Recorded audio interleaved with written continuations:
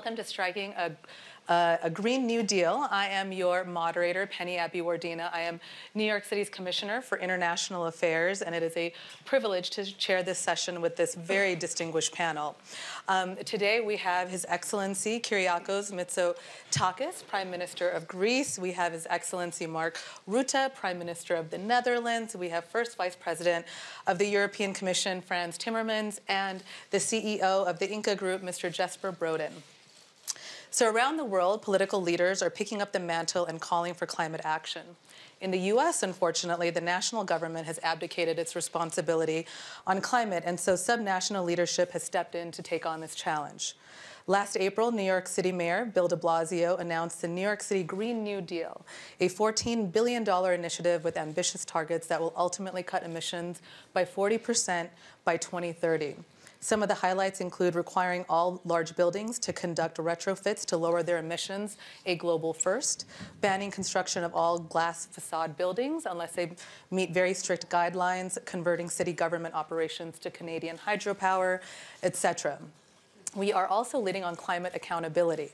After moving to divest city pension funds about $5 billion from fossil fuel companies, New York City and the City of London and C40 cities teamed up to create the first ever Divest Invest Forum to help cities worldwide follow suit. Now, just this week, we identified and finalized a selection of advisors who will help develop our divestment strategy. Now, across the globe, um, especially in areas where national governments have been slow to act, cities are not waiting. In fact, more than 1,300 local governments in 25 countries around the world have declared a state of climate emergency, a critical step in activating immediate comprehensive solutions to drive down emissions. Encouragingly, in some parts of the world, leadership is listening and representing the voice of their people, and we have you here on stage today. So, welcome. Thank you so much. I want to start with the first vice president. The Green Deal has very ambitious targets from cutting emissions to investing in research and innovation to preserving the continent's natural environment. Your goal is to make Europe the first carbon neutral continent. As an American, good luck. we, are, we, we are rooting for you governments seem to be dragging their feet. So I want to know how you think that the, you can succeed with the European Green Deal, and if you can first give us a little bit of an overview of what your um, primary targets are, please. Uh, we're even more ambitious than that. We want to be climate neutral, climate which is neutral. even more ambitious than carbon neutral. Why are we here? Because I think everyone saw, all the politicians who were in the European elections, mm -hmm. that this is the one issue that sort of captures the imagination of Europeans across the continent. Mm. It's also one of the few issues where nobody doubts that we have to act on a continental scale if we really want to make Absolutely. a difference. So what we did is then we went back to the drawing board and said, if we want to be climate neutral by 2050, what does that mean for 2040? What does that mean for 2030? What does that mean for the next five years? And we started mapping it out. And then we, we chose a holistic approach. Mm. So not just one sector, it's not just about energy, it's not just about you know, oil, it's, sure. it's about the whole economy. Why? Because we're also in the middle of an industrial revolution that sort of, sort of coincides with um, the climate crisis. Absolutely. And we are challenged because of our demographics in Europe. Mm. Um, uh, you know, when my parents were born, Europe was about 23, 24% of the world's population, Africa 5%. Hmm. Um, in a couple of years' time, it's going to be exactly the opposite. And in a generation's time, mm -hmm. Africa will account for almost half of the world's population. Mm. So these are sort of tectonic shifts. And the one thing is clear every industrial revolution or every fundamental change in our society has the potential of being extremely disruptive and extremely unfair. Very few people win, and a lot of people lose. So if you take your role as government uh, seriously, you have to organize it mm. together with all the stakeholders this time, not on your own, because that won't work. Right. And organize it in a way that it leads to a redistribution that mm. leaves no one behind. Uh, and, and I think that's the, the core element of, of the Green Deal. And I'm really very, it's very clear. Without Generation uh, Z, without millennials, we would not be here. Yeah. They're going into the streets Mm. They are shaping the politics of the future. Yeah. They're taking this into their hands, and that's a good thing. That's wonderful. Um, Prime Minister, I heard through the grapevine that you are the greenest Prime Minister Greece has ever had. Um, we yeah, are guilty. Really... I said this. He's not from my party, but I did say it. I was, I was trying to keep it anonymous. Um, was he so unexperienced? um, I would love to have your thoughts on the Green Deal and what the first Vice President said, especially in terms of how you see it protecting Greece's extensive coastline and very unique cultural heritage. Well, we're extremely supportive uh, of the Green Deal, and uh, I'm happy that it is uh, an ambitious uh, plan. Uh, as um, uh, the Vice President said, it's a plan that is all-encompassing. It doesn't just look at one particular sector. And what I like is that it um, unites Europe towards a new, extremely important cause. If you look at the history of European integration since um, uh, Europe as a united entity was first created. We always put, you know, very ambitious um, uh, targets uh, uh and work towards them. You know, our, our, our fathers or grandfathers uh, created the European Economic Community at the time to ensure prosperity and peace for the continent. The euro was the next uh, important milestone. It was more about financial robustness. But what is the cause that we can actually unite a new generation of young Europeans to work towards? It has to be um, climate in conjunction with technological disruption. These are the two um, uh, big challenges uh, that we have to face. So this is a very, very uh, ambitious plan. We've supported it from day one. It's particularly important for Greece. Why? Because all climate models tell us that the eastern Mediterranean is going to be particularly vulnerable to climate change. Now, this is nothing new.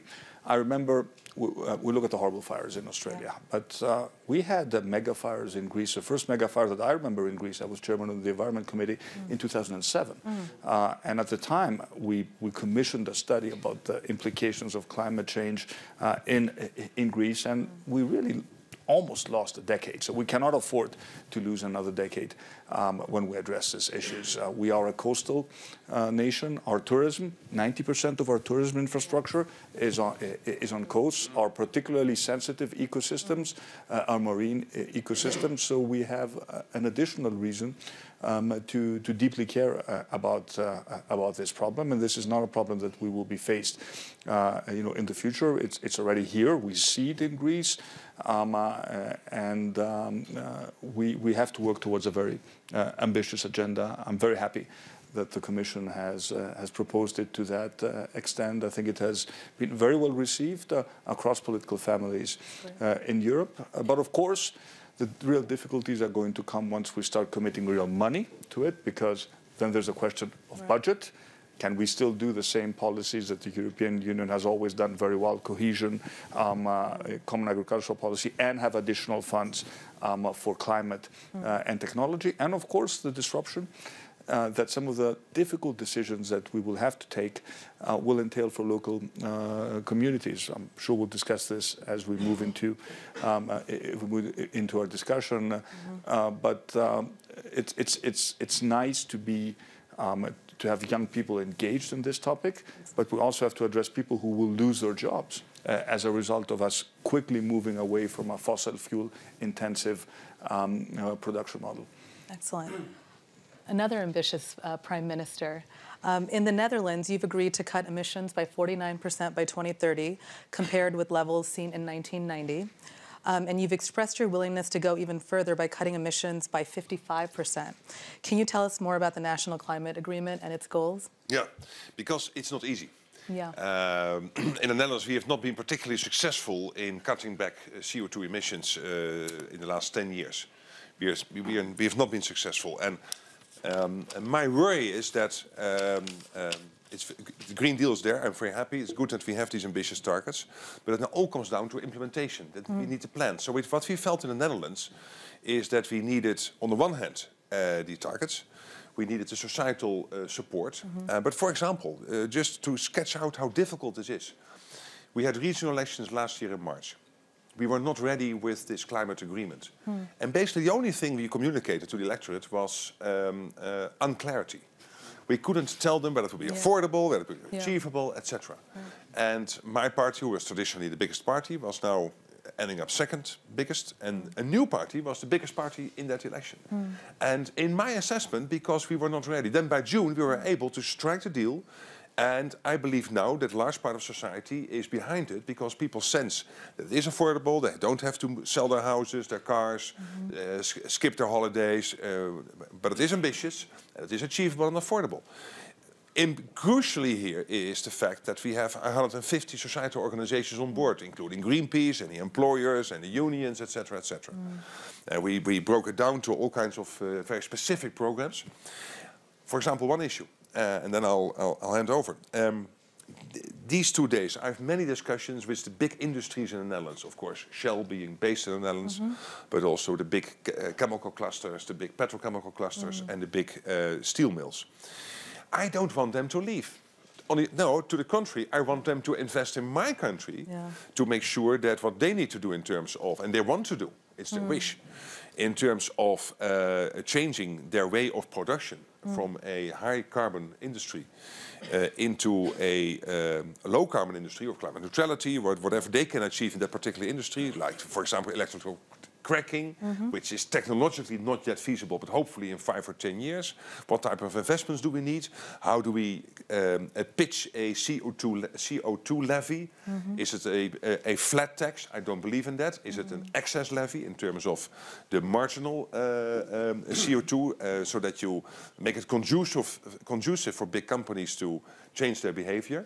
They want to dialogue with us. They want us to be them to be part of that uh, uh, thinking. And I, I'm optimistic at the end that if we get this right, that you will not have fewer jobs but more jobs, more economic growth.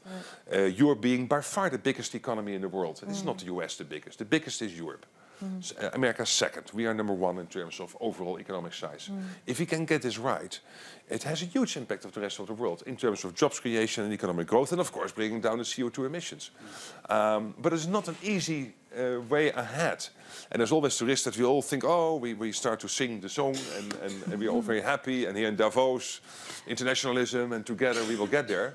But there is so much to be done. And there are so many hurdles al- along the way. And we have to take the whole population with us. Absolutely. And we can only achieve that if more economic growth, job opportunities will arise. That will be crucial. I mean, Ju- that's a, Just as a point of information, very briefly. Please. The Prime Minister's party again came second in the European elections. he's another party. That's because they made a mistake in the Social Democrats. Thank you for reminding me about it. I, I mean, I- Okay. it goes bad. Yeah. We're going to talk. No, but it was such a perfect transition from the prime minister to you because IKEA's been a leader in this, right? In trying to. You're not going to call me prime minister like in the green room. It felt No, very and then I for a changed it to maybe president of the United States. I would, I would, I would accept that. Um, but IKEA is one of the companies that's been leading on climate action in the private sector. Um, would love your thoughts, your thoughts from IKEA's um, perspective Mm. on the Green Deal, but also the larger sector's perspective. No, I would, love to also share the IKEA view on it, but I think uh, we are very optimistic. This is uh, this was a message and a time that was just perfect. Uh, we have most of the work, or almost all of it, ahead of us, of course. Um, so we're entering a very interesting phase now. Um, but I must say, uh, maybe Frans will uh, will uh, disagree with me, but sometimes, long, long back, the EU could have been a bit anonymous, maybe not known for speed or for uh, unity. And here we are with, uh, I think, uh, people like you said, Frans, uh, Ursula, stepping up, showing leadership, direction, unity, uh, and a speed that is phenomenal. So we think this is going to be a, basically a European orchestra that sometimes have sounded a little bit so-so in the past, but where we need to play, all of us, and we want to play a part in that. Uh, we think even we as an industry can be part of uh, playing a big instrument uh, in this. If you, give us a small one, we will be annoying. so hopefully we get something real to play here. And I know for sure that there are a lot of companies and other stakeholders out there who actually want to. We want the speed. We are in a decade where maybe it's the most important in the history of mankind, really. So we have this opportunity now. But at the same time, how can we all participate and be part of it?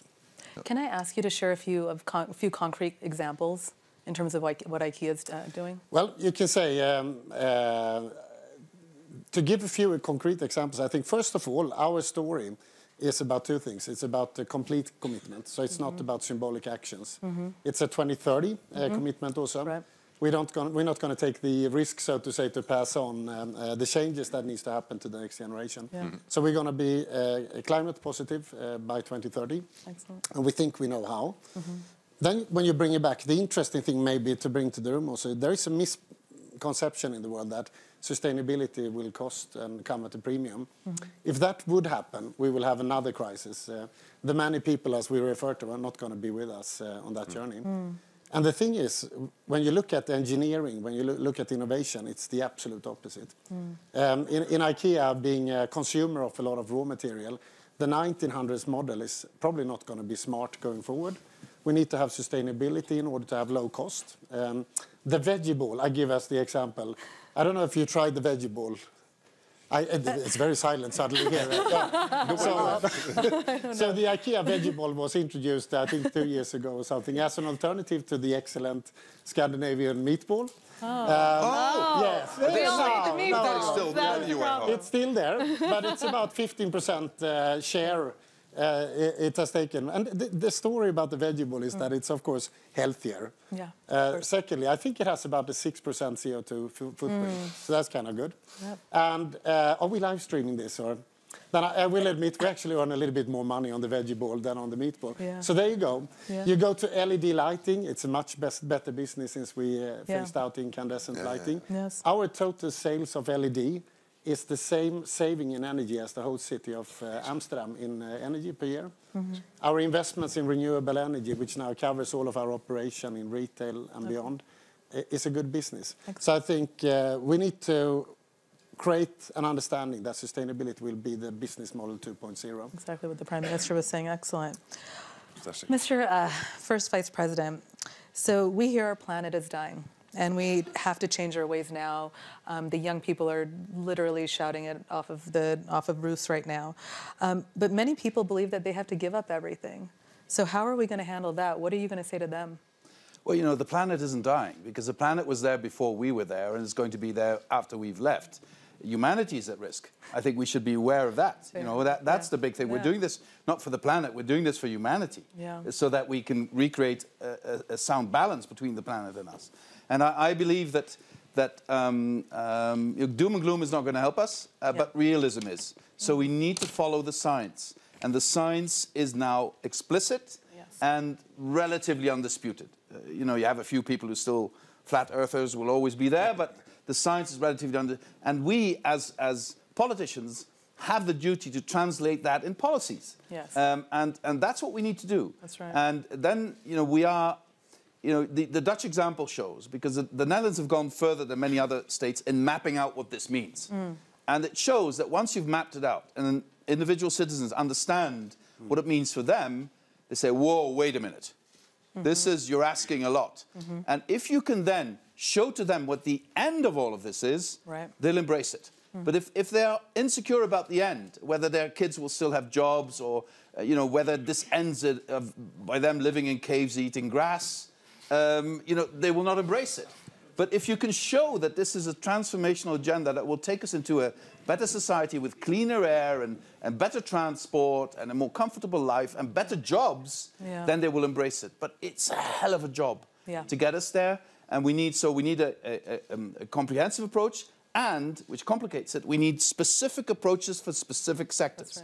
right, um, Mr. Brodin's sector is a different sector than the coal uh, uh, sector or the oil sector or other parts of retail. And we need to be very specific on every sector.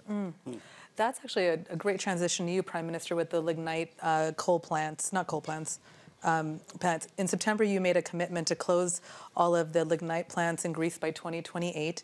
Can you talk to us a little bit more about um, the politics, um, how you got public opinion behind all of this? Well, for those of you who don't know, lignite is brown coal. It's the dirtiest form of coal. And uh, for literally 70 years, uh, Greece's growth and uh, cheap electricity was fueled uh, by essentially one valley in, uh, uh, in northern Greece that provided you know, all the lignite that we, uh, that we ever needed. We reached a point um, uh, where we have to take uh, uh, important and pretty drastic uh, decisions. We're doing it not just to comply with the targets that we have set at the European level. We also do it because uh, burning brown coal in inefficient plants doesn't make economic sense any longer. Uh, so um, uh, we have taken the decision to shut down all our lignite-fired plants by 2028. We will shut all we will shut all of them bar one, which is a new one we we inherited. It's in the process of being completed uh, by 2023. Um, and of course, we're rapidly moving towards natural gas and renewables, natural gas as the obvious transition fuel, mm-hmm. and then a, a, much heavier push uh, into renewables to, to balance out uh, our, our energy mix. Now, the politics, um, it was one of those decisions which were, were taken. Uh, uh, and announced without, I want to be very honest, without a significant degree of public consultation because I felt that as a new prime minister, I need to set the bar very high. Surprisingly, um, even in regions which are directly affected, there is concern, but th there wasn't uh, you know, a completely negative reaction because I think people even on the ground uh, understand that uh, you know they also have to change. We were discussing with Frans before. Do you want? Would your kids want to work in a coal mine? Mm-hmm. Probably mm-hmm. not. If you can offer them a better job, they would probably prefer that. So the real challenge is, okay, how do we take a region that is very dependent on energy production in terms of jobs and offer these people reasonable alternatives? That's where the European Union kicks in. You know, the Just Transition Fund, um, uh, which um, uh, aims to mobilize significant amount uh, of capital to help with this transition. And what I basically told my colleagues is, look, uh, the, the, the, the, countries that step up to the plate. Uh, we have 30 producing, coal-producing regions uh, in the European Union. Those who make the change um, at a much quicker pace should be mm-hmm. um, should be rewarded. And, and, my intention is to be at the you know at, at the beginning of the queue uh, and not at the end because we always know that you know European funds uh, are relatively finite. So we're sending a very clear signal on that front. Of course, our strategy, CO2 reduction strategy, is not limited just to that. We have a very ambitious retrofitting program um, for public but also private uh, homes because our, our, our homes are still relatively old and there are tremendous um, efficiencies that you can get by uh, upgrading uh, upgrading your buildings, better insulation, mm-hmm. um, uh, better you know better heating, better uh, better cooling, and we are giving uh, financial incentives. And I think we have very good European programs that have worked extremely well in Greece. A lot of interest mm-hmm. uh, in terms of people upgrading their homes. As the real estate market is also picking up, there's more interest in investing in your properties. We've gone to hotels and told them something you know relatively simple We'll give you some additional square meters in terms of your public spaces, in terms of building rights, if you upgrade um, uh, your um, uh, your infrastructure uh, in terms of energy efficiency. So we're essentially monetizing um, uh, the uh, you know the, the, transition without us actually um, uh, paying money. So we, we have a, a very broad agenda to to reduce to reduce CO2, but energy production is going to be particularly uh, important. And as we map, and as the Green Deal uh, is, uh, you know, is, is, is, mapping our path towards carbon neutrality, we, we all know um, which um, sources of energy production are going to be important. Yeah. Natural gas very important in the medium term, and renewables very important from day one. Big question mark is, you know, what do we do with more innovative technologies, hydrogen, whether we have a hydrogen strategy as a European uh, Union. Uh, it's another topic, I think, of uh, of great interest. But I think sometimes um, you have to set the bar high. Uh, and then engage people rather than having everything come out of a public consultation uh, process. So I'd like you to reflect on that, right? So the policies need the, um, the citizen buy-in. You've done some very ambitious things in the Netherlands, and so would love for you to talk about some of the challenges you've faced in trying to get um, the buy-in from um, communities, you know, local, subnational governments around creating these effective policies. It's difficult. Uh, there, there is this tradition in my country that we talk endlessly about everything. Uh, then we decide. And then in the implementation phase, we can speed up because you know that there is this broad-based uh, buy-in. Um, uh, there's this particular issue that uh, one third of the Netherlands is below sea level. Mm. as we like to say, God created Earth, the Dutch created the Netherlands, um, because we had to reclaim that uh, in, in, over the centuries from the sea. Schiphol Airport is four meters below sea mm. level, for example, the second mm. biggest airport in Europe. However, given that tradition, it's, it's very difficult for a government to say, this is how we're going to do it. By the way, in most countries, it doesn't work. Yes, I like what you were saying about setting the bar. There it will work. But look at some countries with a very centralistic system. At the end of this parliament or the street or population in general who will then correct it. So at the end it will only slow down the implementation. So we took on board everybody, uh, had discussions about indeed buildings, uh, what are they emitting, how can we uh, uh, redress that, cars, uh, so uh, infrastructure in general, uh, transportation, uh, of course industry, uh, which has to uh, add another 14.3 megaton in CO2 uh, emission reduction to achieve the target by uh, 2030. Uh, so that's that's a big part of it, uh, and of course the, the, the, general citizens in, in all kinds of ways uh, as it impacts on society. Uh, at the end, as I said earlier, we took more time than we thought we had to take, and and particularly in that phase, uh, mm-hmm. we found that we didn't have the narrative there, mm-hmm. and it is crucial that when you take so many people on board, that you mm-hmm. also have that debate on, almost on television, in the newspapers, mm. that it is not just presented, and because we were not ready, and when things started to leak out and were incomplete. Uh, it was easier for others to say, okay, this is nothing. It will mean that you have completely to change your lives. Uh, jobs will be destroyed, etc. Well, that's exactly what we didn't want. Of course, the aim of all of these policies is to make sure that we are on the forefront of fighting this problem, but at the same time creating that economic uh, growth opportunity. Um, but then again, we were successful by June. Now it is about implementation.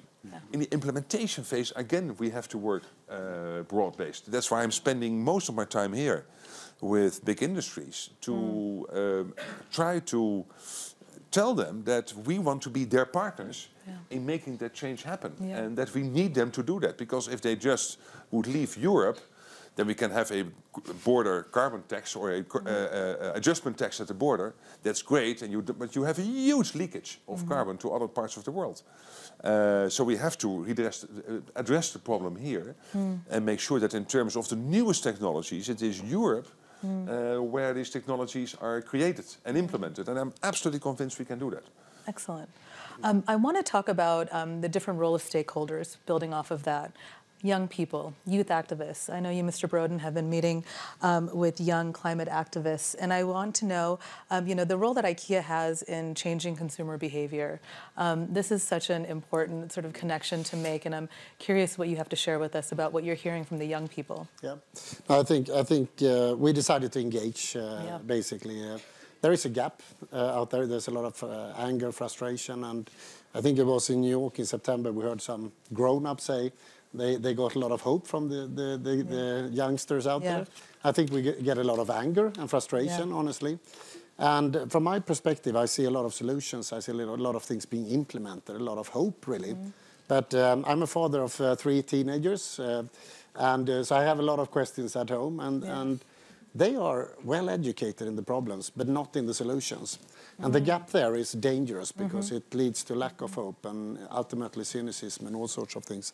So I think we will just try to continue to listen to each other. And when we try that, we find that through dialogue we are much closer to each other than what we mm. think, and that most people actually want to be part of the solution and not the opposite. Mm. So it's, uh, I think, one of the elements maybe of the European Green Deal is also to allow that to happen, allow Yes. different stakeholders to talk to each other without Yeah. maybe necessarily being overly stressed about uh, the exact solution. We will find Yeah. it if we can only provide those platforms. That's what we think. That's exactly right. And on the on the Green Deal, um, you know, it is so ambitious for Europe, but other conti- continents should be trying to do that. And I want to know what kind of advice you have for them, but also as an American sitting here, right? I talked about the subnational leadership that um, U.S. cities and states are showing. Um, how are you engaging European cities? Um, what is that subnational leadership on climate change? How does that get um, sort of interwoven into your strategies? Well, first of all, the good thing is that the federal government is not on our side, but the Americans are. Indeed. That's Uh, right. So that makes for a, a great start. You know, Um, uh, General John Allen from Brookings said something brilliant yesterday where he said there's U.S. leadership and there's American leadership, and there has been extraordinary American leadership on Mm-hmm. So, climate. so I think I think that's important. That's that's reality. And and secondly, Mike Bloomberg and I uh, co-chair an organization which is called the uh, Global Covenant of Yes, it is, Mayors. yeah. And there you can bring together all the best practices from all over the world. Yes. Uh, because uh, one of the places where in Europe and globally we need to showcase the fact that we need to make this transition and it can immediately lead, lead to positive results for citizens is in cities. Mm-hmm. Uh, you know, uh, greening public transport. Um, I want to bring together European cities at such a scale that you can uh, tender not a couple of hundred electric buses, but 5,000, 6,000. You bring the price down and you, you create a new opportunity for European industry if you do that. I want to see, I want to showcase the best examples of greening cities. Mm-hmm. You know, we want to plant 2 billion trees in the next five years, mm-hmm. but part of that is greening cities and bringing the temperatures in the Mediterranean cities down, mm. improving air quality, especially in Central and Eastern Europe. You know that 400,000 Europeans die every year prematurely because of bad air quality? And, and cities can show that we can change this relatively quickly. And there's a huge political willingness in cities, regardless of the political mm-hmm. orientation of the city, to do this. right. Their citizens demand this. But I have to add one thing to this. The biggest danger of that is, mm. and I see, I think you see this in America as well as in Europe, mm. is that you create a, a chasm between cities and rural areas. I think mm. cities should also feel more responsibility for the development of rural areas mm-hmm. because this industrial revolution mm-hmm. has a tendency to favor cities mm-hmm. at the expense of rural areas. Mm. And there we need to also have a system of redistribution because at the end of the day, livability in the cities depends on the successful rural area development as well. Absolutely. Yeah, Absolutely. good point. Prime Minister, um, I want you to tell us, and this is, I want to um, open up some time for um, Q&A with the audience, and so this is going to be a question for all of you. Um, Davos here, everybody's been talking about collaboration, engaging other stakeholders. Um, in the next year, what would you like to see in terms of a collaboration that could help forward your agenda with the Green Deal? I think we need more on a domestic level. We clearly need broader public discourse about the importance of the policies that we are proposing. One interesting thing in Greece is that we don't have a green party, or if, if it exists, it's insignificant politically. So I think it is an opportunity, certainly, for the party that I represent, which is a sort of liberal center-right uh, party, to um, explain why you can do uh, climate, uh, ambitious climate policy uh, in a reasonable way uh, without uh, exaggerating on the one or, or the um, uh, or, or the other end. So, um, uh, as far as the, targets that we have set, you need very specific milestones. Otherwise, there's no way you can reach your um, your targets. So, we've come up with a national strategy on energy and climate that has very specific uh, targets that we hope we will be able to to meet, and that's what we will be submitting uh, to um, the European Union.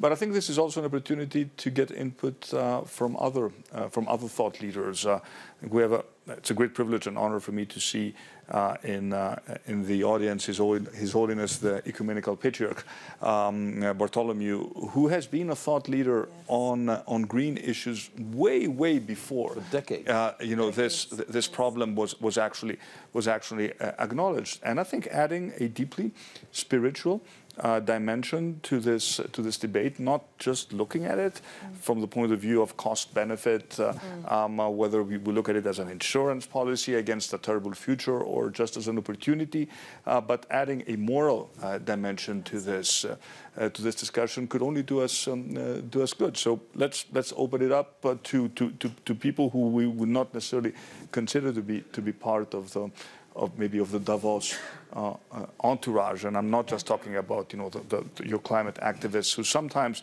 raise the bar so high that it is just impossible to to reach it.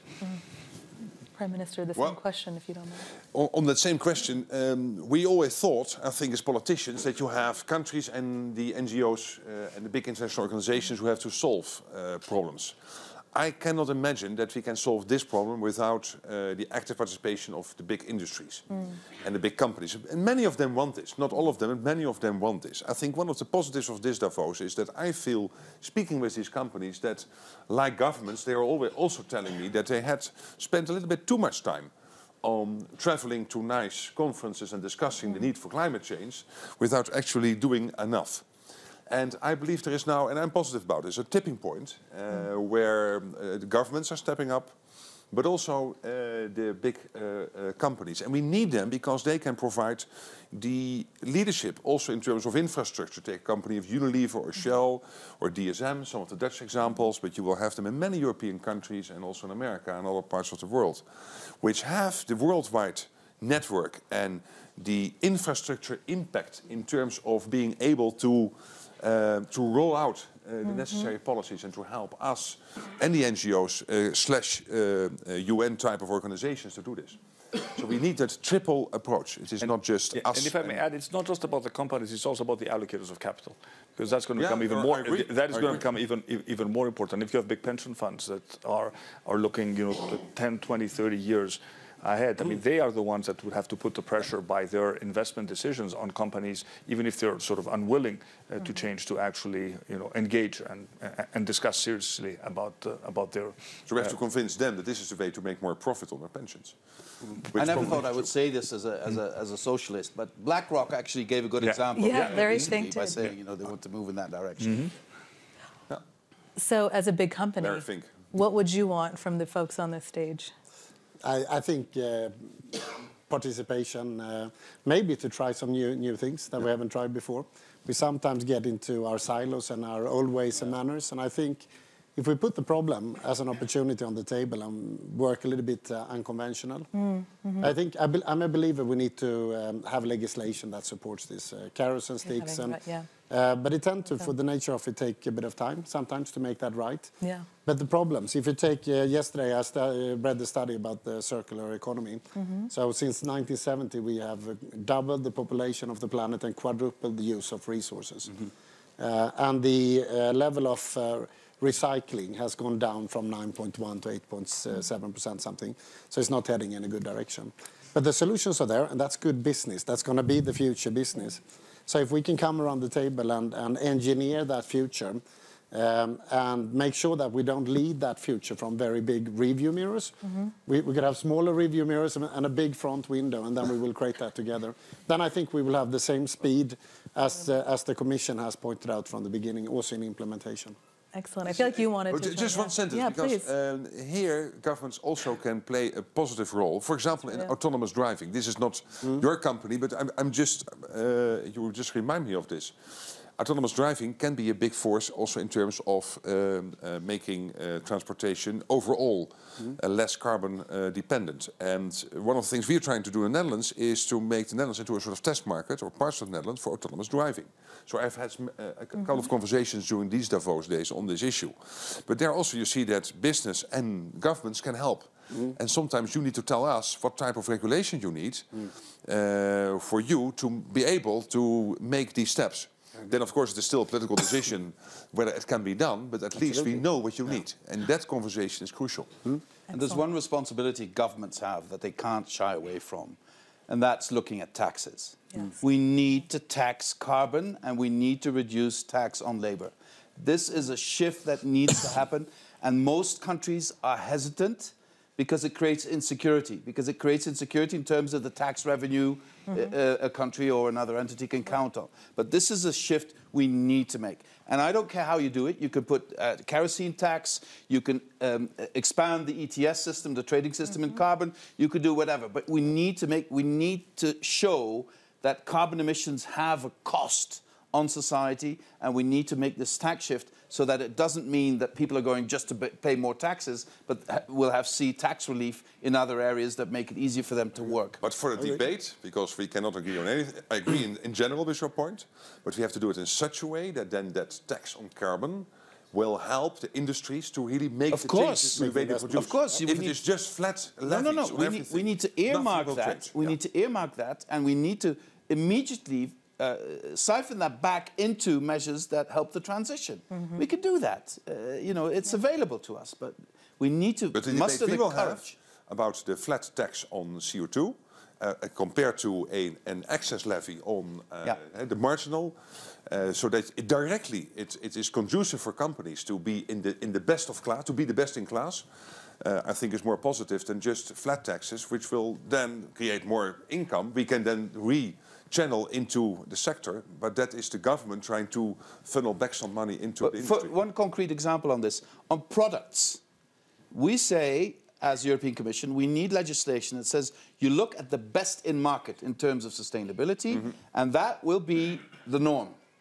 And all the rest will be uh, below the norm and will not be allowed in the market. That's not a tax, but it's a huge incentive for industry to produce the best possible uh, uh, material. I think so. We, we have different ways of changing the behavior of producers and consumers. So we have a few minutes, and I think it's time to open it up to the audience to hear what they have to say, who are they allying, um, allied with on this issue. Does anybody want to participate with a short comment? Or- Do we have mics? Do we need mics?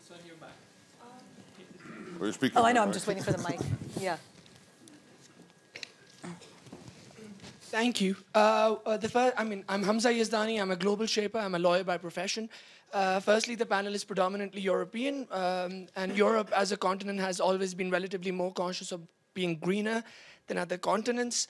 Uh, climate change, the biggest problem is that it's a one for all, all for one situation. Um, and because we have the benefit of uh, politicians, uh, the biggest problem they face is convincing their population that they have to make certain compromises on their lifestyles, uh, as well as the biggest question is who pays uh, for all these incentives. A Green New Deal would require um, carbon pricing, which time and again we have seen because of haggling is never enough to deter um, carbon emissions, or there are enough loopholes, uh, giving uh, subsidies to greener economies, uh, revoking subsidies to people, uh, you know, other industries.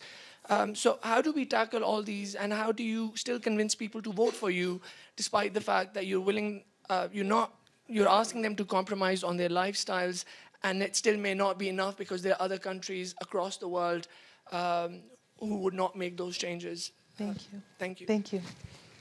Does anybody want to? What certainly would not work, I think, just to, a quick answer, is for us to lecture the general population on what needs to change. Uh, I think we have to acknowledge that, that there is a widespread acknowledgement of the issue that we are basically, uh, that the, the, the planet is, is, is warming up and that we have to do something. I think th there is a wide agreement, a widespread agreement about that.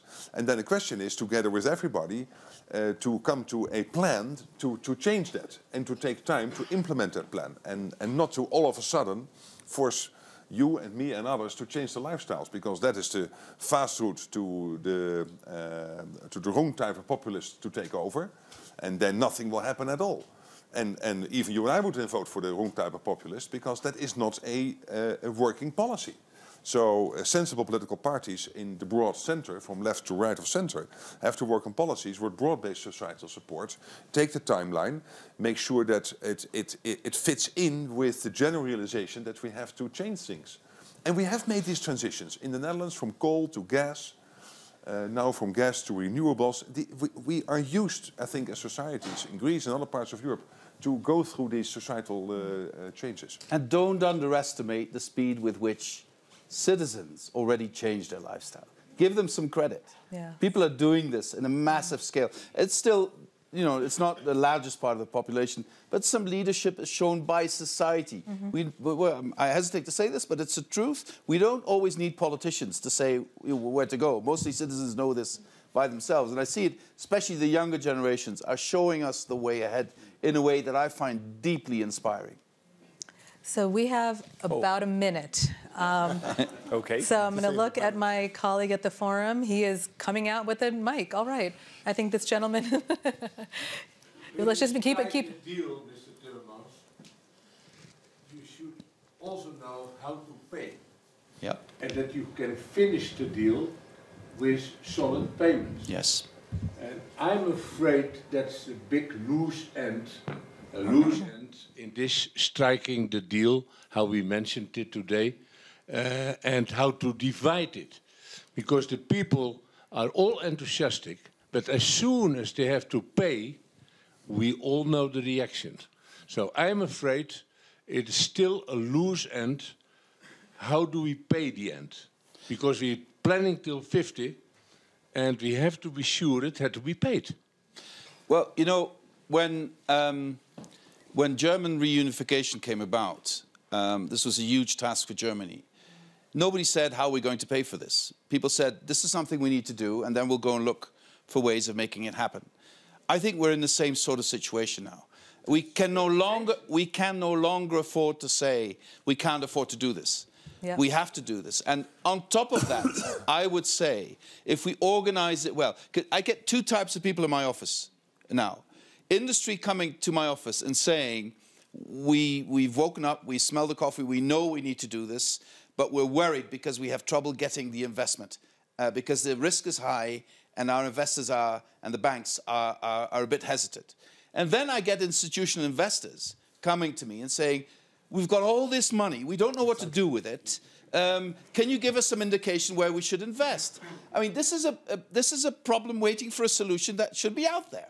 And, and, and I honestly believe, I honestly believe we can bring this together if we create synergies, both horizontal and vertical, within industries and between industries. The capital can be mobilized because we're talking about in Europe about 300 billion investment a year, and if I then hear what we're still investing per year in fossil fuel, it's more than that.